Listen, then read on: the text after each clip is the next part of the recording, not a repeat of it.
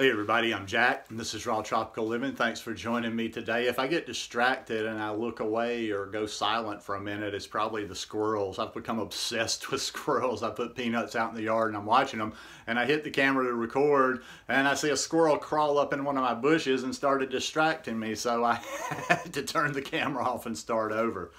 Uh, today I want to talk about a raw food diet uh, tip that really helped me a lot.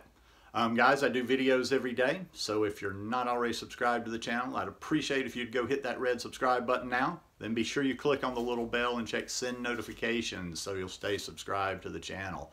Woo, we are in the summer now. We kind of, spring hit fast. We're in the upper 90s. It's warm, um, and I'm hydrating. Today I've already had, I had three quarts of watermelon juice, and I had the last quart of watermelon juice while I sat out in the sun and got my vitamin D. That's the best way to drink your juice. Okay, so what's the trick that the tip, the trick that helped me a lot? Well, it's a it, I didn't know exactly what it was I was using at the time, but it was a form of mindfulness that I've talked about a number of times and I had a few other little tips and thoughts and tricks how you can use mindfulness to help you with this lifestyle as well. This is a process thing. This is a process thing. I know, I, I kind of feel, I've, I put my finger on the pulse. Everybody wants uh, videos that just tell them another how to do or, or another recipe, but Jesus, there's about 4 million recipes out there. Um, so it's all about the process. It's all about the mind. It's all about how we look at things, how we perceive things, and, and what we do with it. Um, one of the things that really, really worked for me from the very, and we're going, like I say, that we're going way back to the very beginning of this lifestyle. Um, and I, I as I was getting ready for this video, I tried to remember details and exactly how I was feeling at that time.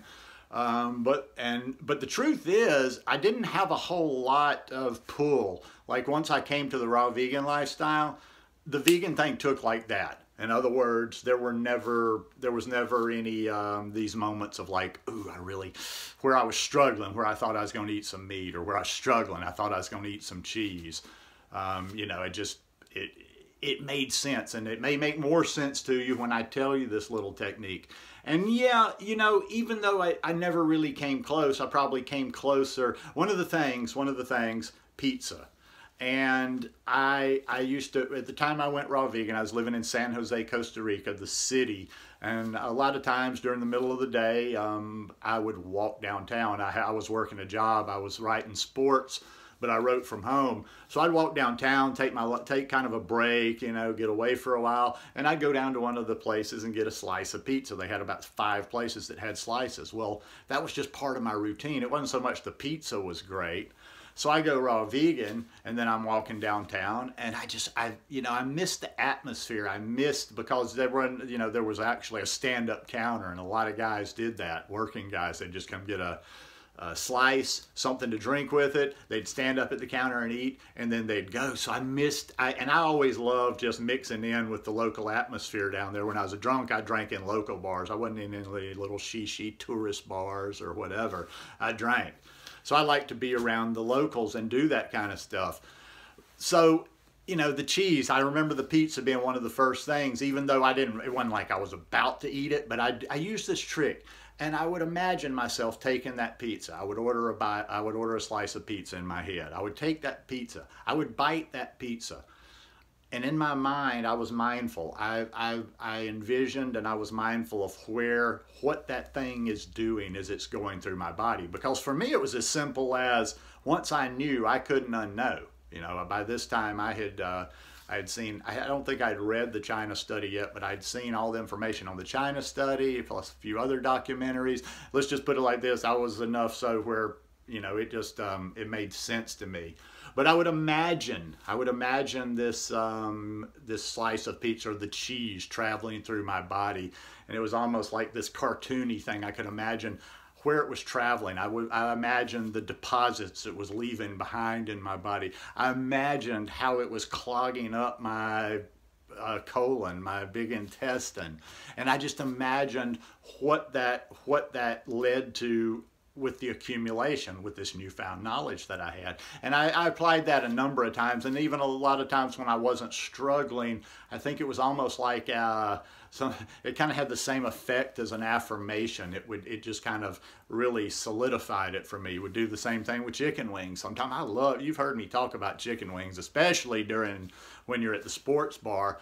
Love, love, love chicken wings love chicken wings, dipping them in lots of blue cheese dripping, big thick fat blue cheese dressing. Did the same thing. You know, I would imagine, okay, I just ordered that, uh, my usual wings. I'm taking a bite.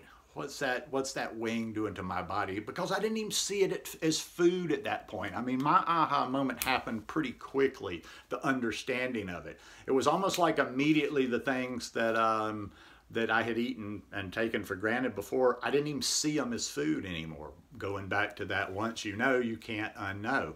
So how do you use that yourself? I think you like I have a I have a number of tricks and ideas, but I'll just share a few of them with you right now and some of the what I consider the more practical ones.